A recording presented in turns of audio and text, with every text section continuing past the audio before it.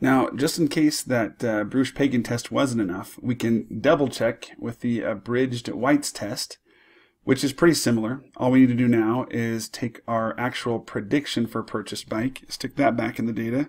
So let me uh, command shift down. Actually, no, first I need to make my variable. So I'm going to come back here and uh, let's see, right here, I'll insert I'm actually going to insert a couple. I'm going to call this our prediction and our prediction squared.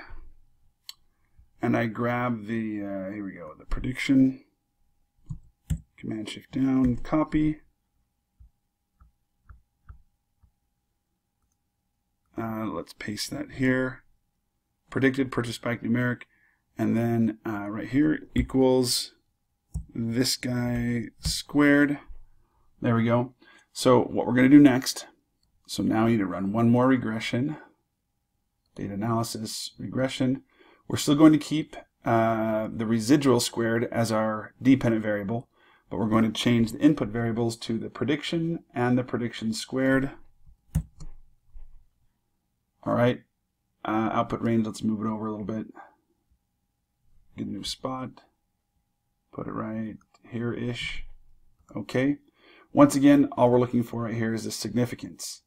So now we have, let's home uh, number.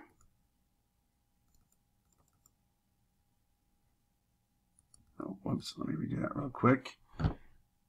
So this one, unlike the other, is highly significant. Look at that. So the null hypothesis here is, is that there's homoscedasticity, there's no variance.